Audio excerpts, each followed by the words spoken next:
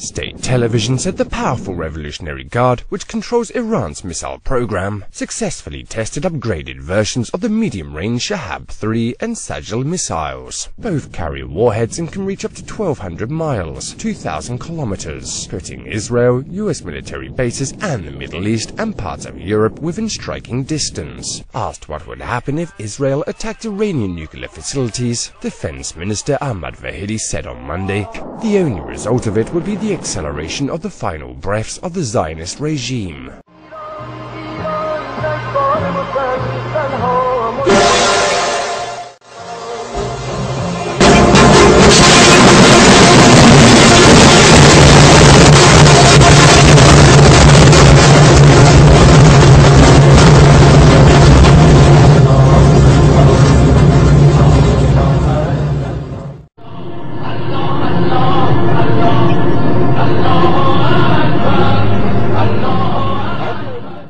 بسم الله الرحمن الرحیم.